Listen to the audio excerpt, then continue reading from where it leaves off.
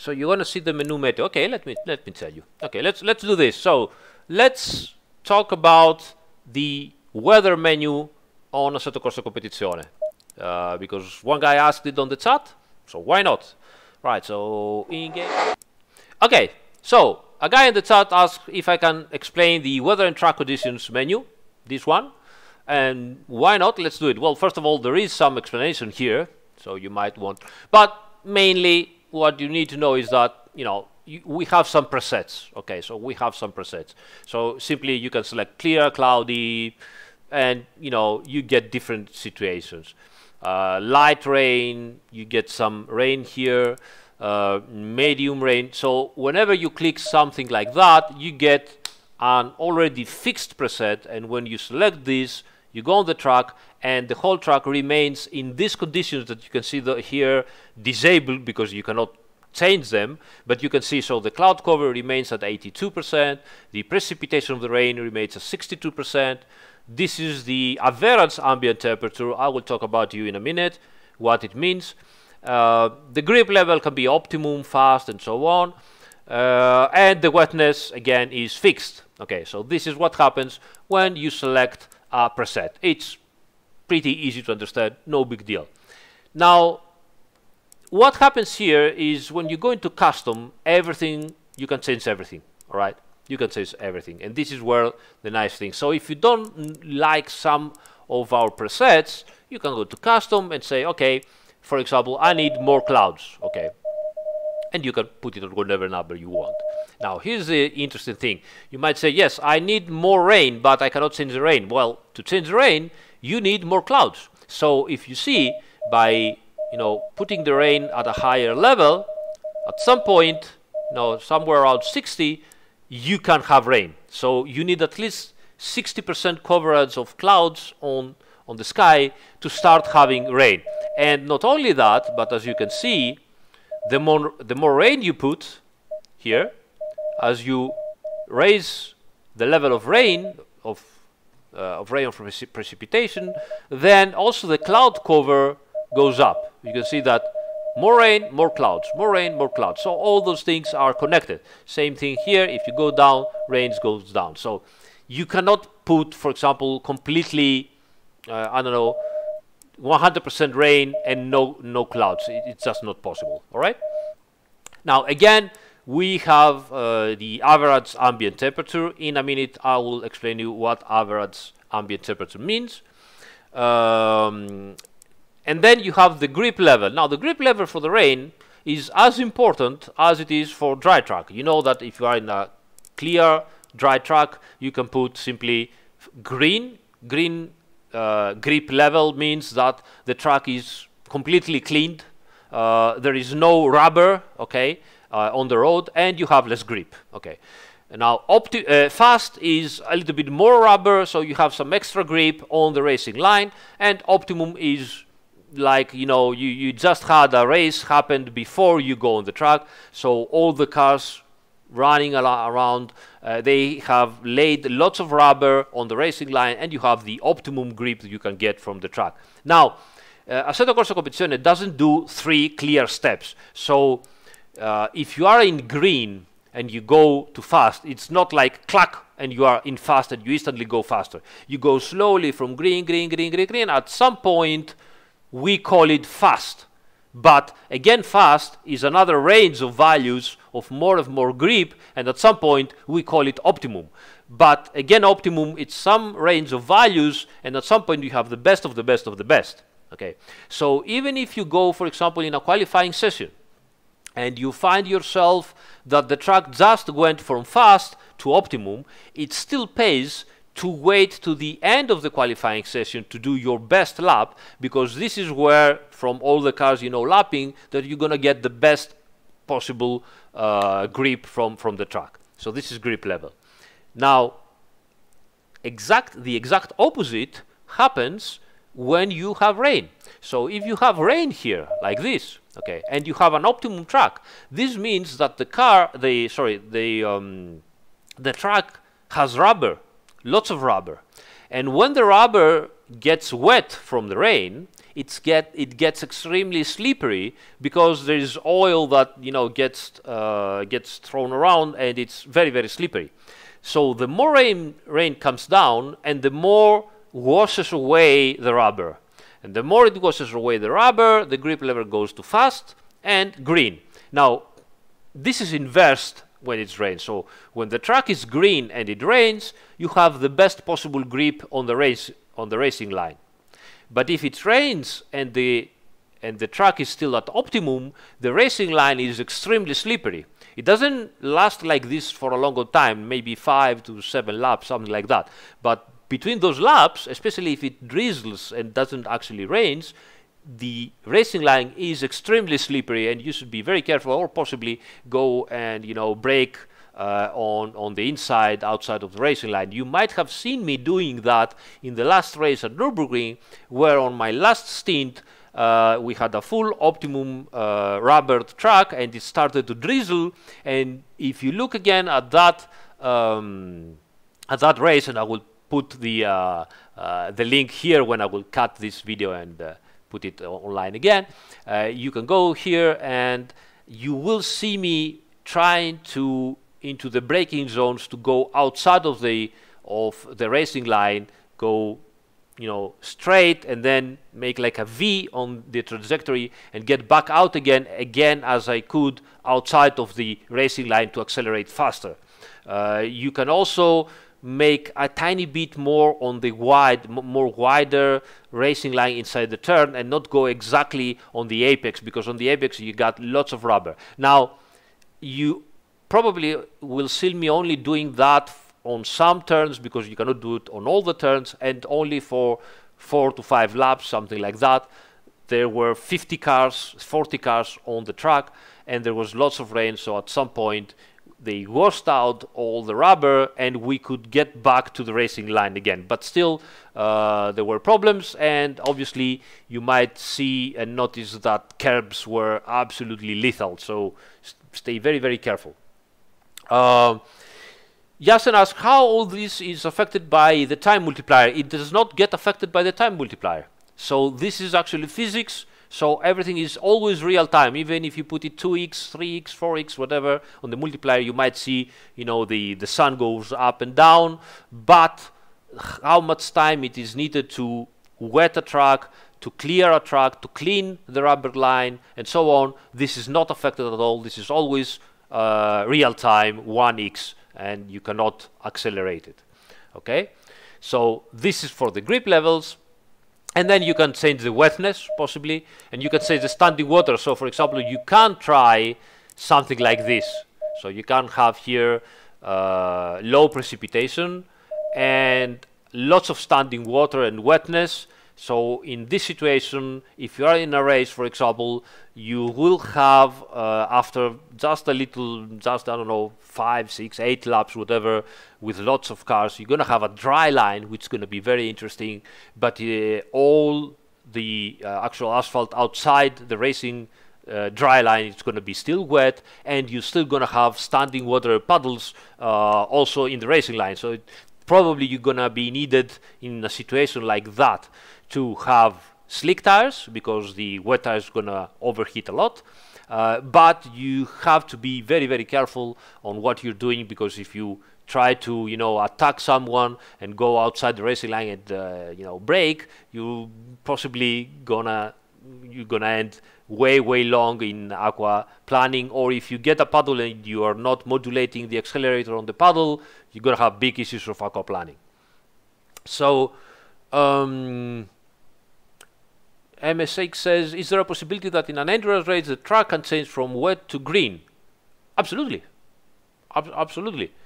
Uh, actually, this is what happened uh, MSX on the last race. On the last race, we went from completely rubber line. It started to rain. It was very slippery. Thunderstorm completely washed out all the rubber. The the track went back to green. Then it stopped raining, and practically at the end of the race, uh, a dry line was forming, and that dry line was completely green. So everything can happen. Yes, absolutely. Uh, the percentages, uh, Mikael Medina asks, all these percentages are visible anywhere in the driver HUD? No. This is a very specific uh, thing that we did to not let you know anything of those percentages. Why? Because a real driver doesn't know what percentage of wetness it has. You really have to understand, you really have to, you know, try to get your risks, you know, and find out what, what you can do. I mean, in the last race, we had a top alien guy, Nils Naujoks. We have that guy, top alien guy, best of the best of the best. Honestly, I'm not even exaggerating. He's one of the best guys ever, right? And he was driving a BMW. He was doing a great race with his uh, co-drivers, and we started having rain. And he tried to overtake a car from the outside. He was that fast, and he went a little bit on the um, on the curb, and he spun. So he took a risk. He tried to do, and he felt that he could do it, but he spun stupid mistake, whatever you want to call it, loss of concentration, whatever. But this is all about racing. Real racing is all about taking risks or calculated risks, I don't know how you want to call them, and try to find that extra performance. And it's all about trial and error, trial and error. Do something on one lap. Does it work? You don't know. Do something else on the next lap. Does it work better? No. Go back to what you were doing on the lap before, and so on and so on. This is how real drivers do it. Um, yes, I'm gonna talk about that in in, in a minute. Uh, okay, so if you don't know what to do here, obviously you can do a random weather and you can select the variability of the random weather. Obviously, if you put random weather, you put it down to 1%, pretty much nothing will happen. But if you put it on on 80%, obviously you have lots, lots of uh, percentages and possibilities that the, the weather will change. It's not that the weather uh, uh, will um, will go from dry to wet. No, it might start wet and then dry down, or it might start dry and then you know start to rain. Or it might do dry rain dry rain again whatever. It's it's completely random. So there are possibilities but the higher you you put that the more variation on the weather you're going to have. Now this is something very interesting here. Be very careful. Unfortunately we don't explain this very well um, but here's what you need to know. So if you select variability the moment you select it and you go back now the system, the software underneath has already made a selection of, of weather. So you go into the session like this, right? Uh, and we have rain. Now if I go out from here, okay, and go back in, like this, now, and I have rain again. And you go out and you go in and you have the same rain again. So we had people saying, "Whoa, but nothing changes. Where is the variability? Where is the randomness?" Now here is a problem. You need to go out. Okay. I know this is a little bit of, and nobody tells about it, but here I am explaining. And you have to go back and then single player again. This is now changes again. Possibly to be sure, just go inside here, go disable, enable again, and change it again and this time you're gonna have a different weather right? Because this is when it you know tries to, to understand. We got the same weather doesn't matter. But this is how you have to do it okay? So you cannot go just back and forth back and forth and uh, try to have the weather you, you changing. It, it won't happen. You need to reset the whole system to get that new random weather. Okay so this is something to remember. Um, okay so this is all what, what happens here. Now, if still this is, I don't know, one day you're like this, you're watching the screen, you cannot really decide, you can still click on the randomize and you get different levels of wetness, standing water, whatever. You see here, everything changes. It's completely random. So if you don't want to do something that you know what you're gonna find, just hit randomize, go back, and go to uh, go to the race. Okay, right. So let's go back to clear and here random like this, disable like that, random weather disable. Okay. So I want to show you uh, something specific. So right now we have nothing. This is all zero. So this is practically uh, clear weather, okay? And I have put the average ambient temperature 27. Now, why is this average? Here's the situation. The temperature in, in a racing track never stays the same, okay? And this is what we're doing in Assetto Corsa Competizione, because we try to simulate all the situations, because we simulate a 24 hours uh, race. So, 27 degrees Celsius of average ambient temperature. Now, we go into practice session, uh, day, night time, 9 o'clock in the morning, that's important. So we go inside. Let's load the track. All right. And what we have here now is 27 Celsius and 28 track. This is at 9 o'clock in the morning. Quit. Get, let's go back again. Now this time I won't be changing the weather practice. 1 o'clock, let's go do 2 o'clock midday. Okay, 2 o'clock in, in the afternoon, midday. Confirm, go back in again. Thank you so much for your kind words in the chat, guys. So this is midday now, and now we have 31 degrees ambient and 42 on the track because there are no clouds on the track with all the sun that is directly on top of us. We have very, very hot track. So the 27 degrees average is during the whole 24 hours. That's why we say average ambient temperature, 24 hours. So in midday, you're going to have lots of hot uh, with 31 degrees. Quit again. yeah. And you go back to, I don't know, something like 1, 1 o'clock, 2 o'clock in the morning, 2 o'clock in the morning, deep night.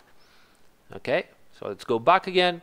And now the 27 degrees have become 19 degrees. 19 degrees and 19 degrees track also because there's no sun. So you have the same temperature everywhere.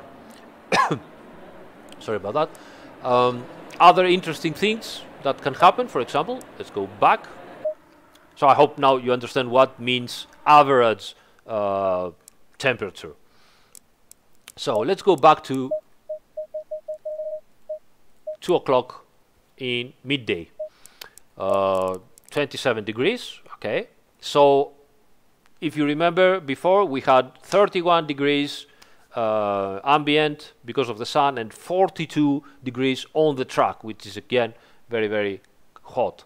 Now, I will raise this, the cover, the cloud cover to something like 85%, so lots of clouds, okay back again, start the session.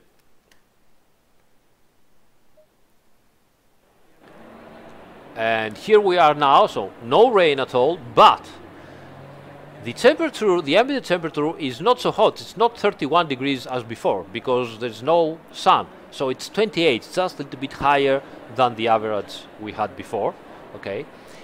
And also very important, the track temperature is also very low it's 34 it's not that big difference as we had before. And if you raise the cloud it's going to be lower and lower, lower up to go almost identical to the ambient uh, temperature. So all that stuff changes dynamically inside the Assetto Corsa Competizione and greatly greatly affects the physics and handling of your car. So to give you some example um, the tires uh, not only get cooled by the uh, you know, the uh, air, which has a 28 degrees temperature, but they also cool when they touch uh, the ground.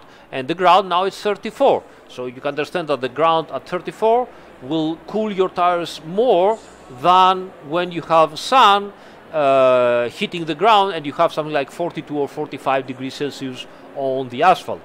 Uh, even more importantly, the brake ducts, the brakes, the brakes get air from very, very low, very low on the surface of, uh, of the track. So if you have, for example, the same ambient temperature, 10 to 8 degrees, but there is sun, and so the track is at 40 degrees, you're gonna have your brakes hotter than the same ambient temperature, but in a cloudy weather when the track is at 34 degrees. Why? Because the brake ducts, as I said, pick up um, air which is very very low uh, on and very near on the asphalt. So they get something like an average temperature between the track temperature and the ambient temperature.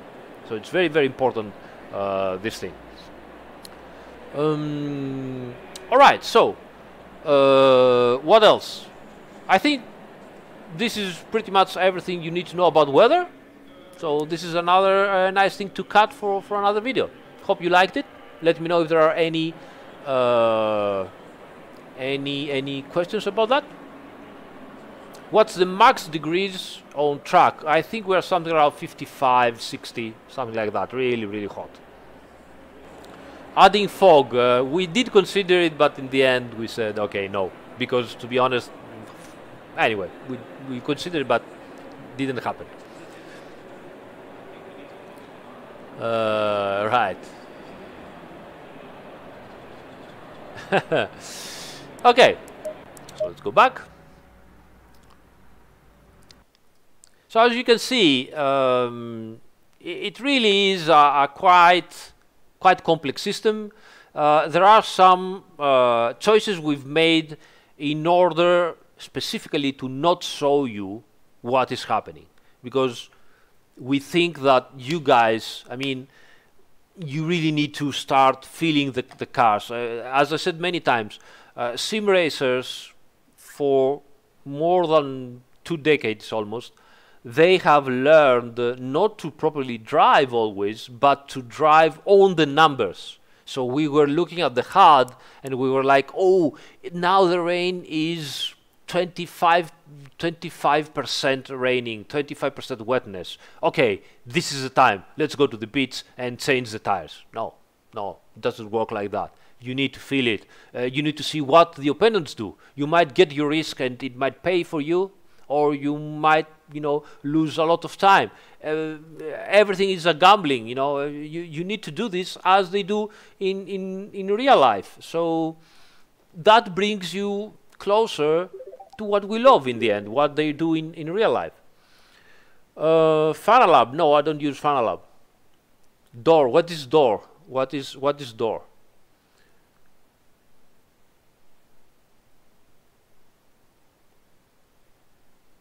Another thing that you might want to, to know, as you know, we also simulate wind. Okay, we simulate wind, but as you can see, you cannot find wind anywhere in here. Okay, you cannot find wind any here, anywhere in here. Uh, why is that? Because uh, wind uh, goes up and down. So normally, when the weather is normal, wind is going to be pretty much stable. Uh, you gonna you we do show you on the HUD uh, how much wind there is. So when you go inside the game, um, you will see here you can see the wind here is zero uh, kilometers right now, and when you drive with the go go go with a multifunction display, you can change and you can find again the temperature over here at the top of the pit stop uh, HUD, and on top of the right corner of the HUD, you can also find the wind, and you have the car from the above and a small arrow that shows where the wind is coming from towards your car in real in real time. So normally the wind stays, you know, stable, but if the weather changes, the wind goes up. We had also a bug on this. We fixed that. We fixed that with the latest hot fix that we released, 1.5.8. So now works properly. So when the weather changes, either it's dry and it's gonna be, you know, it's gonna it's gonna rain, uh, the wind will go up. Uh, if it's raining for a long time and at some point probably it's gonna change, the weather is gonna change, the, the, the clouds will go away, then again the wind will go up and give you an indication that something is gonna happen. So again, wind, you cannot choose it, but it is inside the dynamic system and works properly. So if you have clouds, in order for the rain to stop, the clouds have to move. So wind comes in, the clouds move, and you don't you don't have rain anymore. So this is it.